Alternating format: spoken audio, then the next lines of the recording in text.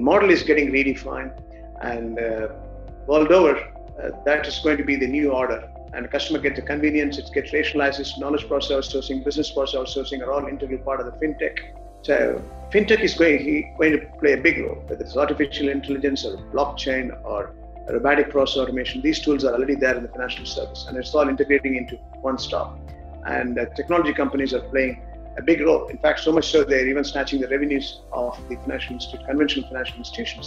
We'll have a position to uh, leverage on the overall uh, fintech to see that our global banking becomes more productive and positive, adding value to uh, you know long-term prospects.